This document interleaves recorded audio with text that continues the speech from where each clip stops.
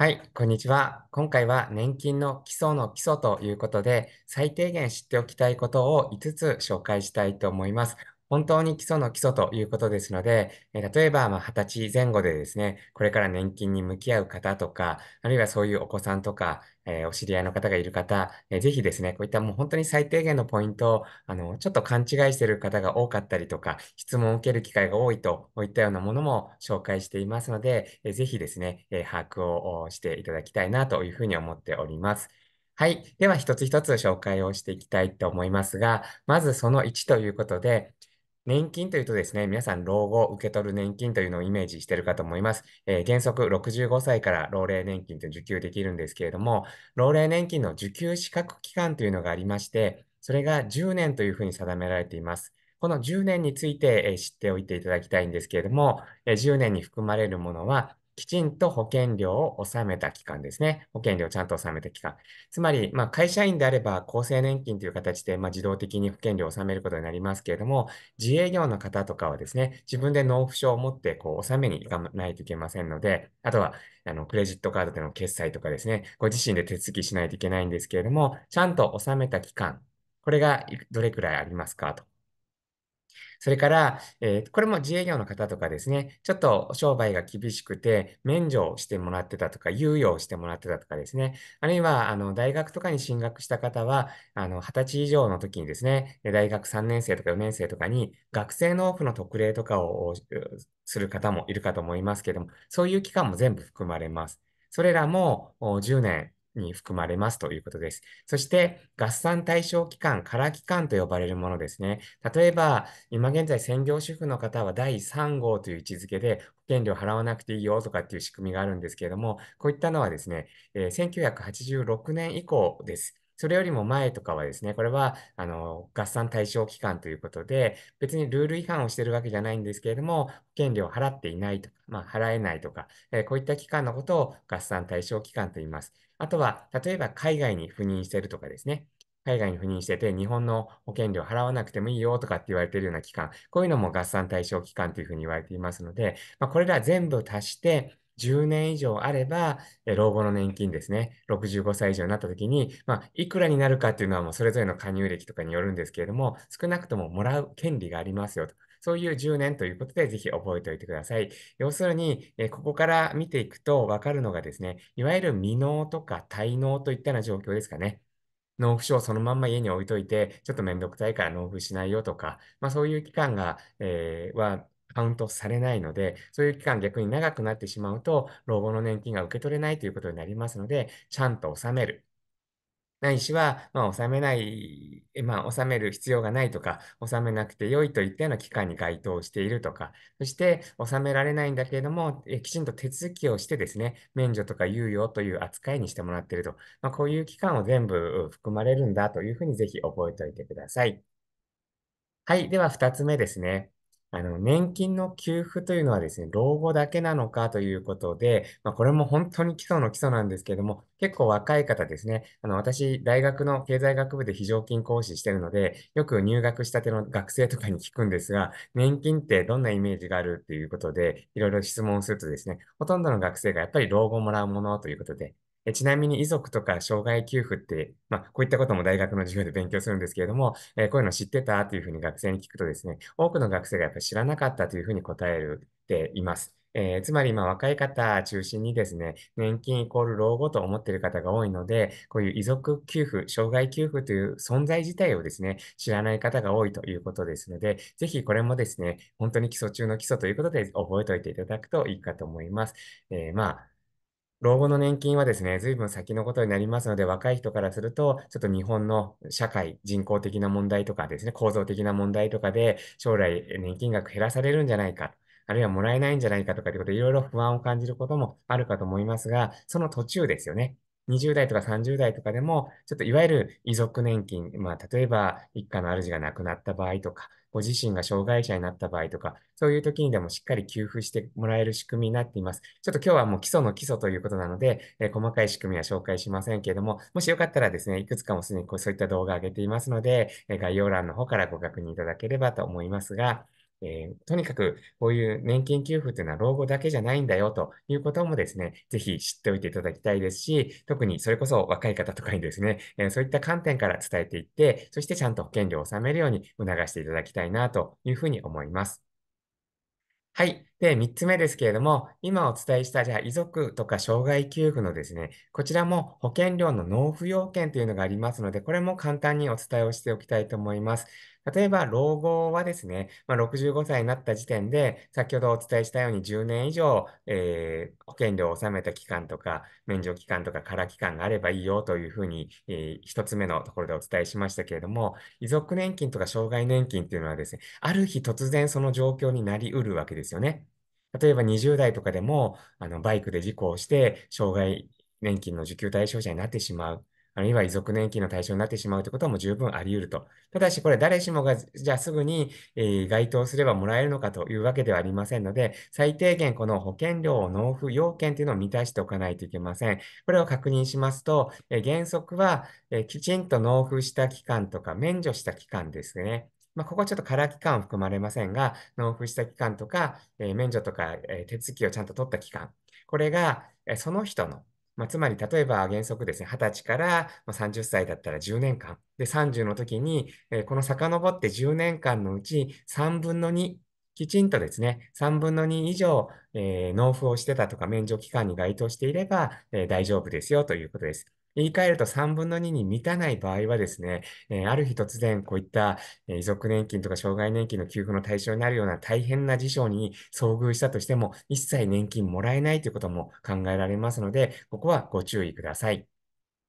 ただし、例えば先ほど紹介したように30歳の方はですね、えー、20歳から30歳の10年間の3分の2になりますので、6年から7年ぐらいですかね、えー、7年弱に相当する期間、きちんと納めてるとか、ちゃんと手続きをしてたということが問われますので、ちょっとこれ、実は滞納期間が長くて大変なんだよという方も中にはいらっしゃるかもしれませんので、今現在は特例がありまして、えー、直近のですね、ちょっと簡単にここはお伝えすると、もうその時から直近の1年、ちゃんと保険料を納めていれば、えー、遺族年金や障害年金の給付対象にしましょうと。3分の2以上ですね、原則満たしていなくても、ちゃんと、例えば、えー、死亡事故とかですね、えー、その遺族とか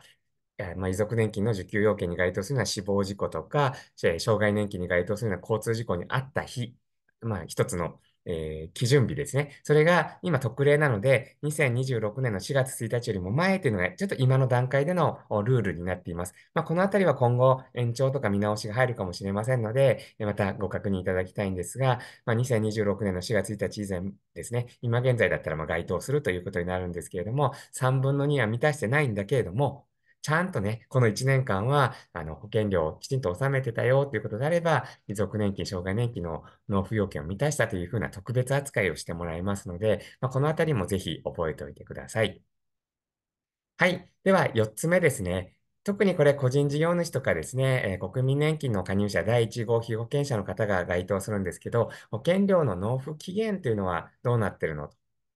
先ほどお伝えしましたね、会社員の方は基本的に会社が保険料を徴収してくれますので、このあたりあまりですね、え気にする必要はないかと思いますが、納付書がご自宅に届いてとか、自分で手続きをする方は、基本的に当月分は翌月の末末までに払わないといけませんよ。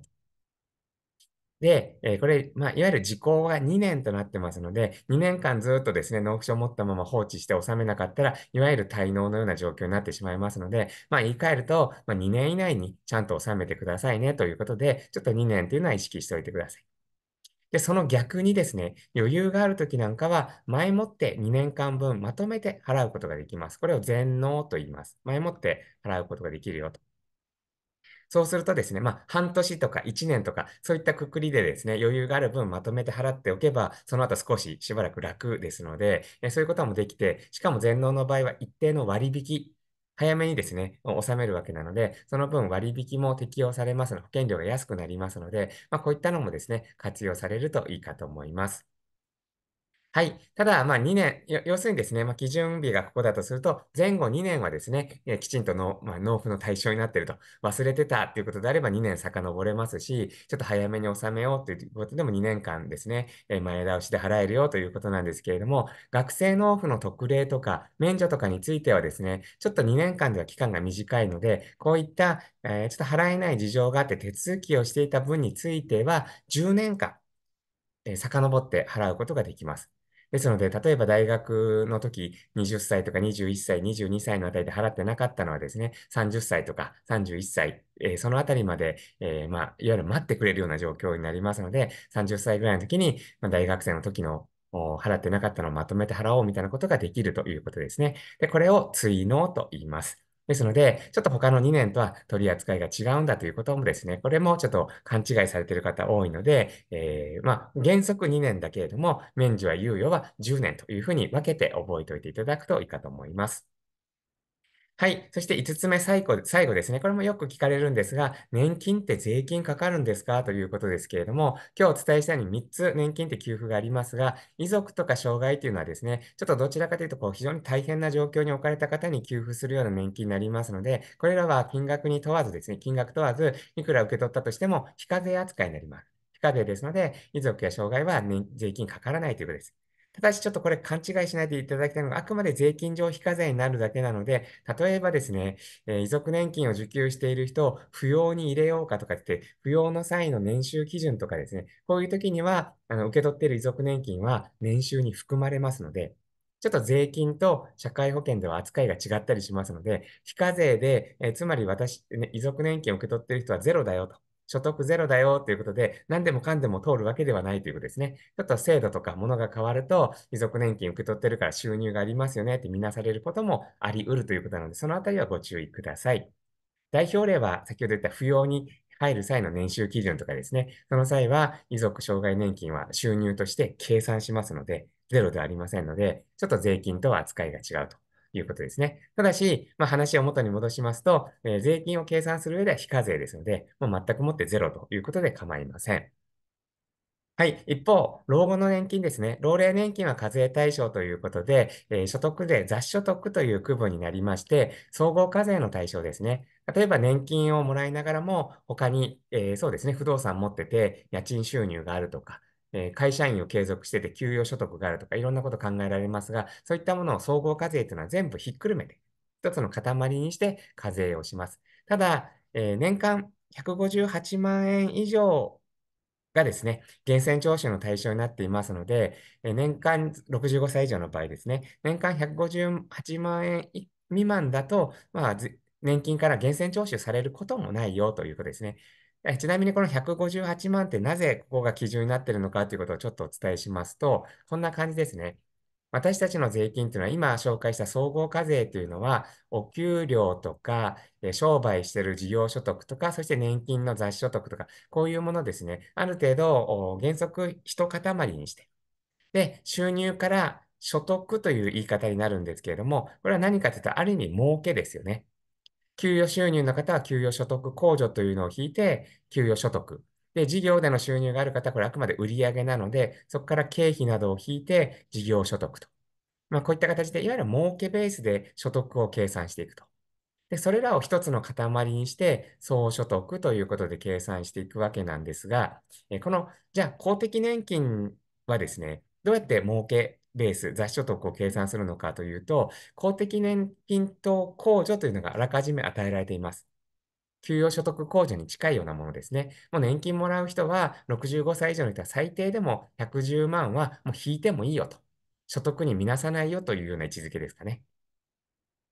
ですので、それよりも上だったら所得として見なされて、他の所得と合算すると。ただ、まあ、例えばですけど、今回、まあ、年金しか所得がない人を想定してください。そうすると、110万以上あったらですね、えこの総所得金額というところで、次の計算ステップに行くんですけれども、ここで、私たちは、私たちのほとんどはですね、ちょっと数年前に制度改正されまして、一部所得の多い方は対象になってないんですけれども、え所得控除というのがあって、この所得控除にほとんどの方が基礎控除というのがあります。ですので、これが48万円です。つまり、この110万と48万を足したのが158万ということですね。ですので、まあ、まあ、簡単に言うと、ここで110万引いて、ここで48万引きながら、まあ、計算をしていくわけなので、まあ、158万ぐらいの年金額だったら、えー結果的には税金納めなくていいよねと。だからわざわざ毎回毎回年金をですね、支給する際に源泉徴収しないよと。それが先ほどお伝えした、えーこの158万というのは一つの目安になっているということですね。ですので、あの、総合課税なので、この年金受給者が他にどんな所得があるかによって、課税については変わってはくるんですけども、一つの目安として、そうですね、基礎年金が今年度の価格で言うと81万6千円ですので、まあ、その2倍ぐらいの金額ですかね。厚生年金と合わせて、えーそれくらいの金額、150、60万ぐらいだったら、まあ、まず税金はかからないだろうと。まあ、こういった見方ができるよということなので、こういうのもですね、ぜひ知っておかれるといいかと思います。はい。では、本当に基礎中の基礎ということで、もう、あの、簡単なところだったかもしれませんけれども、でも、それでいて、とても大事なところですので、この5つですね、ご自身であるとか、最初にお伝えしましたけど、特に若い方が年金と向き合う上でですね、最低限覚えておいていただきたいなと思います。本当はですね、国民年金、厚生年金とか1号、2号、3号とか、このあたりも触れるべきかとは思ったんですけども、もう本当に、えーまずはですね、年金の取っかかりということで、今みたいなポイントを押さえておいていただければと思います。で、もうお気づきだと思いますが、大事なところとしてはですね、もうどうせ老後年金もらえないな、もらえないんだからとかっていうことで、投げやりとかですね、えーちょっと否定するのではなくて、やっぱりいざという時に助けてもらえますし、えーそういう点ではですね、きちんと最低限ですね、もう投げやりで何もしないとかじゃなくて、ちゃんと手続きだけ行っておくと。いうことがとても大事だと思いますので、特に若い方ですね、何か気になることがあれば、市区町村に国民年金の窓口ありますし、それから年金事務所とかそういったところにですね、ちょっと相談とか手続きに出向いていただきたいなと。ちょっとめんどくさがらずにですね、本当に場合によっては遺族年金、障害年金、とんでもなく大変なことになる可能性もありますので、えーまあ、投げやりにならず、ちゃんと最低限行っておきましょうということをぜひ覚えておいていただければと思います。はい。では、えー今回ですね、えー基礎の基礎ということで本当に簡単なことをお伝えしましたが、まあ、途中途中も紹介してますように、私のチャンネルでは年金についてかなり、えーにですね、動画アップしていますので、よかったら概要欄の方から、ご確認いただければと思います。では、今回の動画は以上となります。ご視聴ありがとうございました。